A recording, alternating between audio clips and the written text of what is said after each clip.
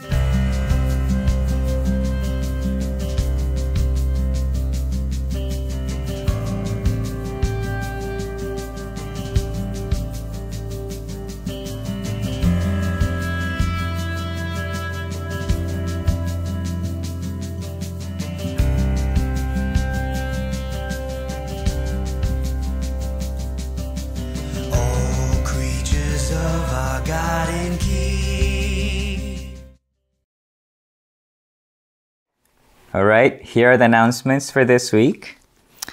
Our next parking lot service will be March 13th, uh, Saturday, March 13th, uh, same time, same place. Uh, please make sure to note it on your calendar and also sign up for lunch that day. Uh, this week, we're also going to do communion uh, both in the parking lot service and also online. So please make sure to remember to have the elements ready for those of you who, are doing it online uh, to do communion on March 13th. And for those of you who come in person, we'll, uh, we'll distribute the elements for you. Uh, we are doing one to three minutes, sometimes longer devotionals uh, Mondays and Wednesdays. Um, so please make sure to remember to uh, spend a little time uh, in the morning or throughout your day uh, doing a devotional with us, uh, especially on Mondays and Wednesdays. Um, but hopefully you, you do them every day. Um, our next uh, monthly prayer meeting will be March 31st from 7.30 to 8. Uh, we had a wonderful time of prayer, our first one uh, last uh, this past Wednesday. Uh, it was a great time where we can get together and pray. Uh, our next one will be March 31st, about a month from now. So please make sure to put it on your calendar so you can join us for half an hour to pray together as a church. Uh, we noticed that some of you are having trouble logging into the Zoom uh, account, to the Zoom um, uh, room, and and uh, the you know Zoom meeting that we have after church or some other Zoom church meetings that we have. We're not, we're not exactly sure why this is happening, but it seems to be that uh, it could be related to your device that you're using or your email account or any changes that Zoom might be making uh, on their end. So it can be multiple reasons why some of you guys are encountering a little bit of a harder time logging into Zoom. Um, just try to follow everything that they ask you to do. Put in all the information and everything you need in order for you to be able to log in. Uh, we ask for your patience uh, and uh, we ask that you just, you know, log in every every information piece of information they want from you so you can join us in our Zoom meeting. If you still have trouble and you just have no idea how to actually fix your problem from your end, then let us know. Please contact Matthew Chen uh, so that he can um, assist you. Let me know also so that uh, we can assist you uh, in uh, trying to fix your problem logging into Zoom. Um, all right, uh, and also let's keep uh, Texas in our prayers. They're going through a lot because of the weather conditions. Um, so let's ask God on their behalf for God to uh, be with them, to help them in such difficult times, and to protect them and to help them and provide for all that they need. Um, all right, that's it. We'll see you in Zoom afterwards. Enjoy the service.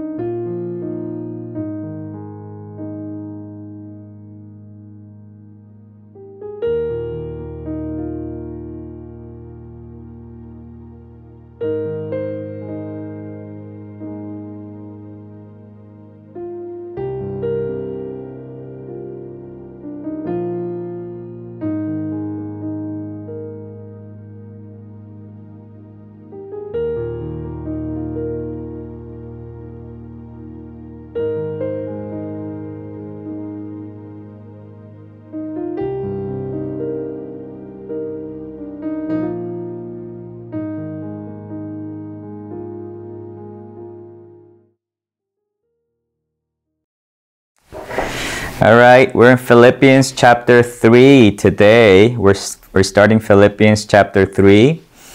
And um, we're going to look at um, a, a bit more of a theological sermon. Um, I try to make my sermons as easily as possible to understand and as practical as possible. Um, you know, for you to really be able to relate and understand. Uh, today, though, perhaps uh, there's going to be a little bit less of that because the passage itself is so uh, densely uh, theological. So we're going to probably uh, not have a lot of practical things to share, but I'm sure it'll still be a tremendous blessing for you. And, uh, and it'll give us a better opportunity to share during our Zoom meeting and ask questions as well.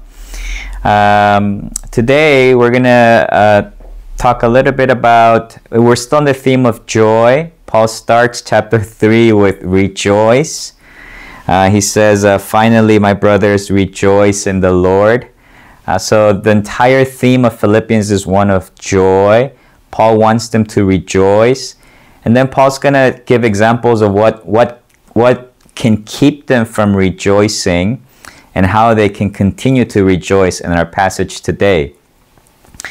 Paul today uh, talks about uh, uh, his opponents. Um, he uses strong language uh, for his opponents. He calls them dogs, he calls them evildoers, he calls them uh, those who mutilate, mutilate the flesh.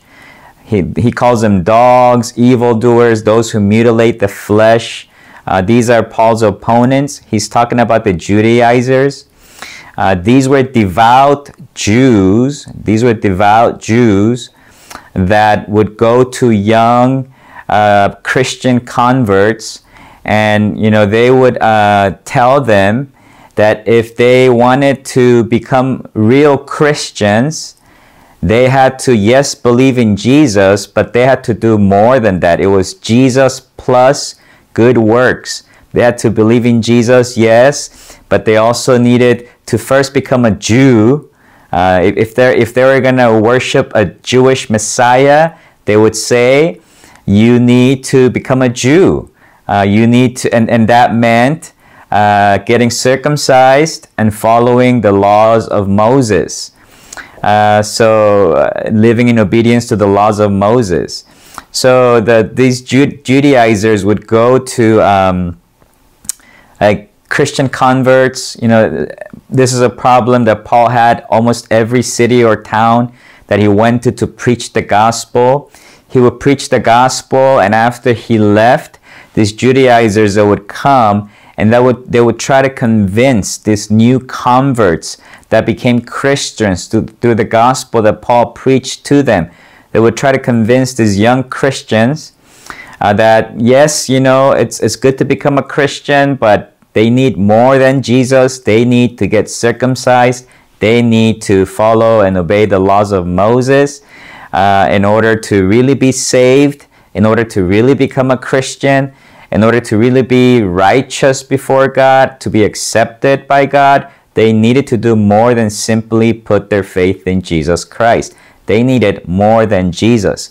In other words, Paul is saying they needed to put their trust, and not Paul, the, the, the false teachers were saying, you need to put uh, trust and confidence in your own efforts, in your own works, put confidence in yourself, not in Christ. They were trying very hard to get these uh, new Christian converts to stop putting their confidence and trust in Christ and instead put it in themselves, in the flesh, in their own works to attain righteousness, to attain salvation, to attain a good relationship with God. Uh, so th- th- these are the, the people that Paul calls dogs and evildoers and uh, you know, he, he's very, very using strong language. He's attacking them so that the Philippians don't, don't fall uh, for the false teaching that these Judaizers are spreading around them.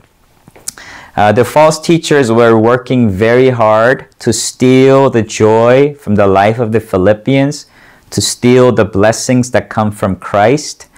uh, to bring them back into bondage and slavery by removing trust from Christ and putting trust in self and the flesh. Paul is battling this. Uh, Paul is fighting and battling to keep the Philippians and us as Christians free and to keep uh, to keep us joyful, for us to not lose our joy, to keep our joy going, so we can continue to rejoice. Uh, we're going to see how Paul did this, uh, so that you and I can also not live in bondage or slavery, but can be free and also keep our joy. If you have your Bibles, please open with me to Philippians chapter 3, verses 4 through 11. Once again, that's Philippians chapter 3, verses 4 through 11. Uh, this is what Philippians chapter 3, verses 4 through 11 says. Though I myself have reason for confidence in the flesh, also, if anyone else thinks he has reason for confidence in the flesh, I have more. Circumcised on the eighth day of the people of Israel, of the tribe of Benjamin, a Hebrew of Hebrews, as to the law, a Pharisee, as to zeal, a persecutor of the church, as to righteousness under the law, blameless. But whatever gain I had, I counted as loss for the sake of Christ. Indeed, I count everything as loss because of the surpassing worth of knowing Christ Jesus my Lord.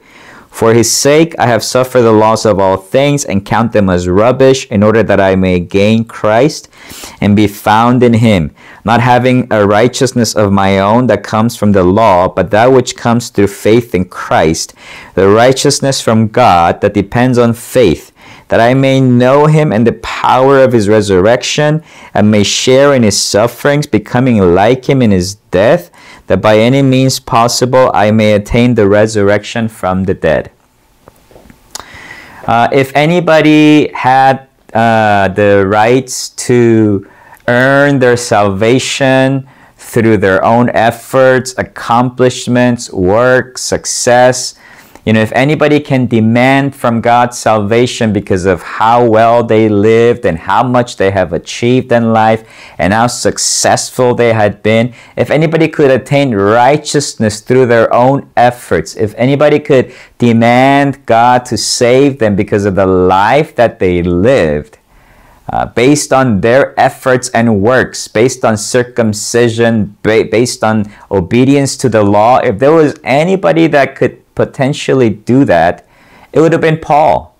There was nobody, not even the false teachers, that would come to the level of Paul when it came to living as perfectly as possible to almost have the right to demand God to forgive them because of how they lived, to, to make them righteous because of how they lived, and to save them, to give them acceptance and a relationship and a salvation with God. There was nobody like Paul. And that's basically, you know, uh, the, the, what, the list that he gives us of all of his accomplishments. He's basically saying, I've, I've already tried that life. I've already tried the life where you put confidence in self. And I was quite frankly the best, the, the, the best at it. Nobody comes even close to living uh, life the way that I did, to attaining as much as I have, to have as much success, as much as I, to be as religious as I have been. There's nobody that comes closer uh, to having lived a self righteous life. There's nobody that did religion better than Paul. Uh, that's basically what Paul is trying to say. But Paul is saying, although there's nobody that lived like Paul, there's nobody that has a resume like Paul has. He's already tried that in the past. In the past, he lived by his own accomplishments, his own success, his own work. He, he's already tried that life. He has a lot to his credit. He can almost demand God, God, look at my life. Look at how good I have been. You better save me. You owe me. You owe me. He can almost say that to God because of how he lived. He has a lot of credit to himself. But Paul here says that all of his achievements, all of his success, everything that he's worked for uh, to you know become acceptable to God, to to be saved by his own works, uh, to to to to be uh, you know approved by God, uh, to be saved, to try to save himself with his own efforts. Everything that he's tried, everything that he's accomplished, all of his successes in life, Paul says, uh, they are rubbish. They are rubbish compared to the surpassing worth of knowing Jesus Christ my Lord. He's saying, he's saying, uh, you know, he, all of this time he lived religiously, thinking that that was the way, putting confidence in self, thinking that that was the way to God, thinking that that was the way to find forgiveness. But Paul is saying, I, I consider all of that rubbish. The literal translation is uh, the word crap. Is you know crap is waste. Is is uh, he's saying compared to the surpassing worth of knowing Christ. After I found Christ, all of my accomplishments, all of my successes, all of my credits, all of my gains, they're they're worthless. They're they're not credit to me. They're they're worthless. They're crap. You know, it's that life was miserable. You know, trying to live that way to always, you know, try to uh, become approved, to to to to be accepted, to be loved, always trying to live, just perform, just so that you know, I can be loved, I can be accepted and, and, and approved by God and others. Living that way, living as a resume, that's basically his resume. Living that way, he says, it was nasty. It was like crap. You know, it, it, it was it was bad. Uh, it was awful. He, you know, it was miserable. It didn't give him the freedom. It didn't give him the joy. It didn't give him the salvation, the righteousness that he sought. He's saying that life was a waste. That life was slavery. That life was nasty. I hated it. You know, it was it was rubbish. It was crap. And then he's saying, uh, I found everything that I was looking for. I found everything that I was looking for when I found Christ. He's saying, I found everything that I was looking for, that I was trying to attain with my own strength and power. I found all of that when I found Christ. That's why Christ became his supreme treasure and everything else became rubbish. Everything else became crap. Everything else became trash. He's saying, all of his life, all of his life, he worked so hard to gain acceptance, to gain approval, to gain love from God and others. That kind of life only brought insecurity. That kind of life only brought slavery, only brought misery. He never felt loved. He always only tried to be loved. He never felt righteous. He never felt accepted by God. He always just was hoping that God would accept him. He never felt approved. He was just hoping that God would approve him. That kind of life only led him to hoping that God loves him, hoping that God approves of him, hoping that God accepts him, but he never got there. It was like being in a hamster wheel, like just going and going and going. That life is tiring. That life is burdensome. That life is, is, is, is, is slavery, is enslaving. And, and Paul says, he finally found and he, he dumped that life he got rid of that life that crappy life where you put confidence in self to try to get all of these things uh, he, he, he got rid of that life when he found christ uh, he considered everything rubbish compared to the surpassing worth of knowing jesus christ my lord. That word know there uh, is translated in the hebrew yada which is the most is not just intellectual knowledge is is knowledge of also experience is the highest level of knowledge is is, a, is the same word that is used between a husband and a wife when they have intimate relationships the highest form of love that you can experience with another human being So that's what Paul is saying. Paul is saying, I finally found the love that I was looking for. I finally found the love that I was looking for. I finally found the love of God. I finally knew what it meant to be loved by God. I finally understood uh, the righteousness, the acceptance, the approval from God. Uh, I finally got the acceptance, finally got the approval, finally got the love that I was working for my whole life and I never got when I tried to get it with my own efforts and with my own actions. I got it finally only through Christ. He's saying uh, the, the, the righteousness he was looking for, the acceptance, the approval, the love that he was looking for. That's not something that you can achieve. It's not something you can achieve. And if you try to achieve it, you're going to become a slave. It's something that is received. It's something that is received. That righteousness, that acceptance, that approval, that love can only come from God. It can only come from God through Christ by faith.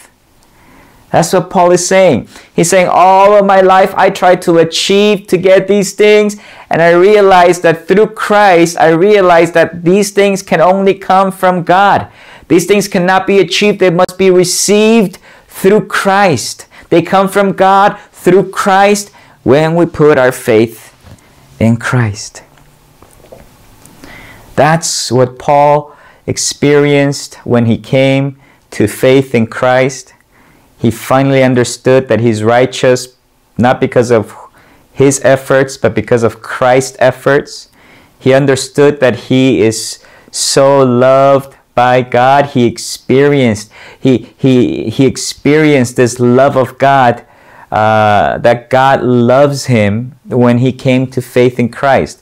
It's not just he just he didn't just work for it or hope for it, but he knew it deeply at the core of his life. Uh, he experienced this kind of love. He finally found everything that he was looking for when he found Christ. So, because he found everything, the most precious things in life, the things that every human being longs for, the things that everybody wants in life, whether we realize it or not, whether we have language for it or not, these are the things that we want and need most as human beings. As human beings, our greatest desire and need is to Know that God accepts us. Know that God approves of us. Know that God loves us. And that cannot be achieved through our own efforts by putting confidence in self. That can only be achieved by putting trust in Christ. It is received the moment we put our trust in Christ. It is not achieved, it is received. And that's what Paul experienced through Christ. And the moment he understood that, Everything else that he worked so hard for in his life became trash. It had no value and worth. Only Christ became his greatest treasure. And that's why Paul made it his life goal uh, to get more of Christ. Just get more and more and more and, and deeper and deeper with Christ. He just wanted nothing, but this became his ultimate life goal to know Christ supremely, to, to have more of Christ, to know Christ, to gain more of Christ, just to go deeper in his relationship with Christ. That's what uh, Paul uh, wanted after he tasted Christ and after he got everything his soul was longing for his entire life and he found it in Christ, all he wanted was more of Christ. He didn't want Christ plus good works. He didn't want Christ plus something else. He didn't want Christ plus my own efforts. He wanted more of Christ.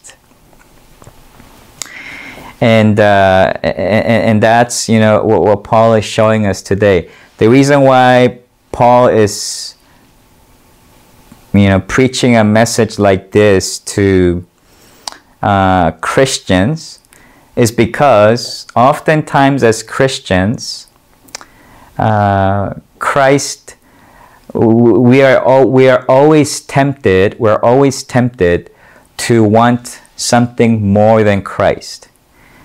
For some reason, over time, for us as Christians, Christ becomes less valuable. Christ becomes less important. Uh, we tried we tried to get Christ plus something else. We tried to to you know everything around us false teaching, false religions, the media, the culture, even our own hearts. Everything around us daily tempts tempts us from stopping our, our trust, stopping from putting our trust in Christ and, and putting trust in self. We try to earn things, we try to work for things, we try to get credit for things. It's just our own heart and everything else outside of us daily tempts us to not trust in Christ, to not put confidence in Christ. It feels like something is missing in life, so we feel like we need something more than Christ. We need Christ plus something else. We need Christ plus circumcision. We need Christ plus obedience to the law. That's just sadly, as Christians, uh, what we face daily. And, uh, you know, from time to time, and especially uh, these days, it seems like some young Christians uh, are becoming uh, attracted to uh, different religions, different religions that are more on the surface level, that they, they seem a little bit more holy, you know, they seem a little bit more religious. There's more ritual, there's more liturgy you know there's more things that you can do. There's there's uh, there, there's christ plus you know things that you can do. Uh, and, and this is why some young christians that are more attracted to you know that are kind of fed up with the shallowness of christianity in some ways and that want something more that want um, you know liturgy sacraments and something that looks more holy uh, they're being drawn to uh, the Catholic Church or Eastern Orthodox religions, um, and, and because they're ultimately they're not satisfied with simply Christ. They, they, they want Christ plus something else.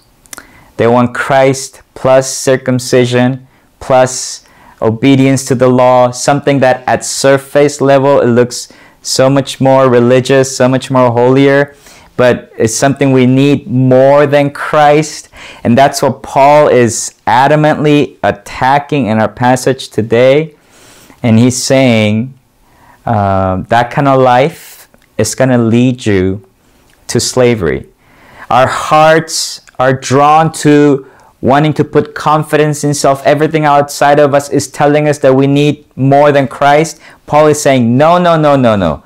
No circumcision, you know, those are dogs. Uh, those are evildoers. Don't listen to them. They're going to bring you back into, into slavery. You don't need, you know, Christ plus something else. Paul is saying what you need, what you need is to daily battle your own heart to desire more of Christ to desire more of Christ. He's saying you don't need Christ plus these other things. What you need is more of Christ. This life is not enough to get, you know, all of Christ. And then he's saying that uh, yeah, we we need uh, more of Christ. And that's, you know, what um, our passage today is, is showing us. And, uh, and, and that's what Paul is saying. It's not Christ plus something else but is uh, more of Christ. And, um, and that's, you know, what our passage today is showing us. That's, that's our, our problem, that's our need. Um, we, we don't need Christ plus something else, uh, but we need more of Christ.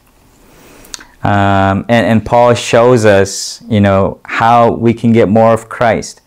First, he says that he already knows Christ, that he knows the surpassing worth of knowing Christ. But then in, in the end, he says, in our passage today, let me read it to you again. He says, um, and starting from uh, verse 8, Indeed, I count everything as loss because of the surpassing worth of knowing Christ Jesus my Lord. For his sake, I have suffered the loss of all things and count them as rubbish in order that I may gain Christ and be found in him, not having a righteousness of my own that comes from the law, but that which comes through faith in Christ, the righteousness from God that depends on faith. That I may know, in verse 10, that I may know him and the power of his resurrection and may share his sufferings, becoming like him in his death. Uh, Paul is showing us how he, we can know more of Christ. That, that the desire should be to know more of Christ. This life won't be enough to know all of Christ. Like we, ha- that should be our goal in life, and we won't even attain it in this life because, you know, we won't be able to know everything about Christ. We won't be able to know Christ as deeply as we want in this life. There's, there's so much that we can get from Christ, so much Christ to be gained that this life won't be enough. But he's saying that's why it should be our goal in life to, to gain more of Christ, to get more of Christ. And Paul here is saying that we can do that, um, you know, sometimes through suffering. Uh, he's saying that in the midst of suffering, he will experience the power that resurrected Jesus and he will become like Christ in his death. Um, you know, we don't need to bring suffering upon our lives. If God is blessing your life uh, without suffering and giving you a season of peace, that's amazing. But if we are suffering, if life does get hard, Paul here is saying that that's that's perhaps a gift sometimes, because there's nothing like suffering that will bring out this um, this this uh, resurrection power for us to experience in our lives and also uh, give us the strength to get through the sufferings. It is through the sufferings that we experience uh, this resurrection power. It is through suffering that we experience us transforming more into the image of Christ. So suffering can be used for us to know Christ more, to go deeper with Christ. And, and, and, that's how Paul is showing us um, how we can, um, you know, rejoice in the midst of sufferings. Because that's when we get more of Christ. That's when we can know Christ more. You know, I found it ironic that Philippians is the epistle of joy, but almost everything it talks about is only problems, hardships, and struggles. And, uh, and then it made sense why a letter of joy is full of pain, suffering, troubles, and hardships. It is because in the midst of hardships that we get to know Christ more deeply. That's where the source of joy lies on. The source of joy comes from really being deeper with Christ, really knowing Christ more. This is why perhaps the epistle of joy is full of just hardship and suffering and pain. Because in the midst of that hardship and suffering is when we will experience and become like Christ the most. So that's why we are most joyful. Because joy comes from knowing Christ more deeply. And, and, and, you know that's that's what Paul is saying. Paul is saying um, that um, everything we're looking for, everything we're looking for in life, comes from Christ, and it's not Christ plus something else, but from knowing Christ more and more, from, from going deeper and deeper with Christ in this life. That's where true treasure lies that's where true joy is at. Um, and, and, that's, you know, what, what Paul is showing us. Um, you know, many of us know that, um, you know, Dao, Dao from our church, um, and she allowed me to share this story. She, she, she said it was okay for me to do so, and that's why I'm doing it. Many of us know uh, Dao has been through a lot of uh, you know hardships in life. Dao and um, her family, uh, they've they've they've had a lot of challenges, like we all do, but they had uh, their share of challenges and, and hardships, and um, you know it's it's been a difficult uh, few years uh, for Dao and, and and their family. It's been very difficult actually. Uh, but the other day, um, I was talking to Dao and Julio, And, you know, Dao was sharing with me how life is still hard. Uh, she's still suffering. But she was sharing with me how she's experiencing the Holy Spirit empower her uh, more than she ever has. She was sharing with me, Julio actually was sharing with me how he is so committed to Christ. Julio is making uh, videos to evangelize to people on Instagram, I think almost daily. I think Dao said he's reading the Bible five hours a day. Um, he is really, he wants to become a pastor now, from my understanding. He wants to go to seminary. Um, and, you know, when Dao, when Dao was sharing this story with me, in my mind, I was thinking, Dao won. Dao won in life. You know, maybe she's suffering, maybe she has hardships, maybe she has struggles. But I was thinking she won in life because she gets to uh, really experience Christ in her life. Christ is not just an idea or theory that sometimes is difficult to experience and comfort. She Christ is real to her. She is experiencing this power, uh, this resurrection power that comes to those who are uh, deep, in, you know, with Christ. And she's seeing her own son, her own son's life change right before her eyes. He, he's now so committed to Christ. He's following after Christ. He wants to serve Christ for the rest of her life. And I was thinking she won. She won because that doesn't compare to all the wealth, the riches, and you know all the other stuff that all the successes in life that we can have. All of us here, as parents, as fellow Christians, we would trade anything we have gained in this life if we can see our family members and our children really give their lives to Jesus. That's true treasure, true joy. That's true, uh, um, you know, wealth, isn't it? Uh, and, and, that's you know what uh, what what um, what we can see happening in the life of Dao and Julio, and and and that's you know what Paul is saying. Paul is saying, um, you know, if the life that is for um, that, that we live by by putting confidence in ourselves, uh, that life is is trash He's saying that life is, is misery. The life that we're looking for, everything that we're looking for in life, we can only find it in Christ.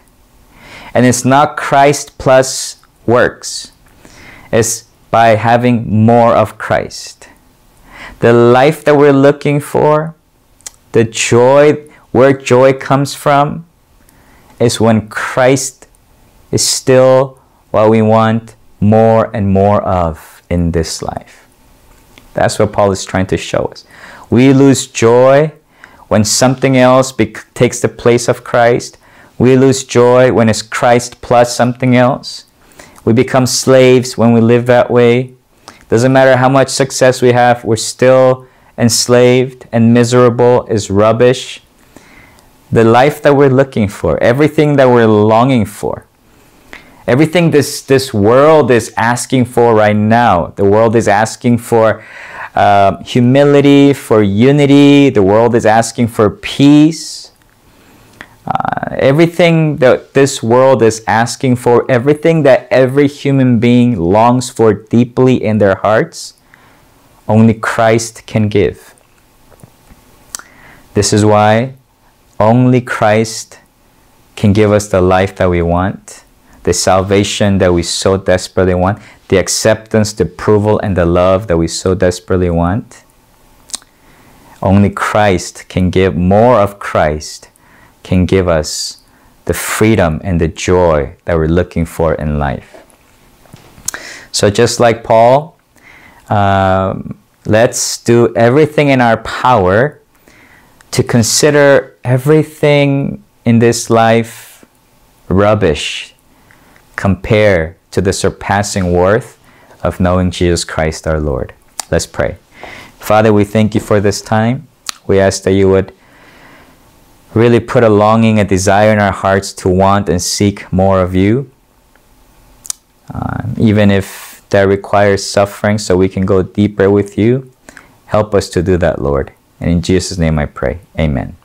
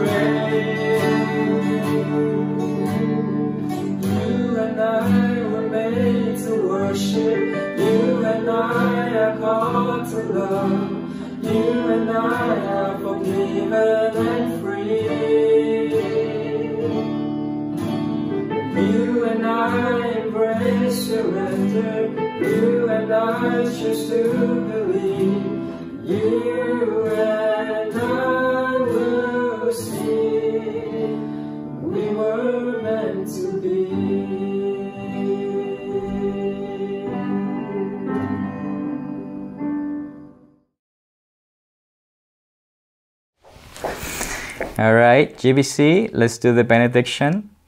GBC, may the Lord bless you and keep you. May the Lord make his face shine upon you and be gracious to you. May the Lord look with favor on you and give you peace. Amen.